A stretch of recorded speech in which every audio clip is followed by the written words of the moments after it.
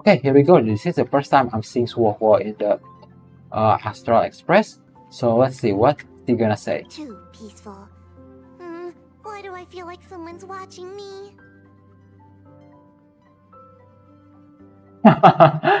Scary ghost noise. Here we go. Oh, it's you! Please don't sneak up on me like that. Welcome, yeah, bro, to the X one. Astral Express. Remember to take a lot of picture. Here we go. Good idea. Why? The Astral hesitate. Express is so peaceful and majestic. I've only been in the parlor car a few moments, and I already feel calmer. this place is the best.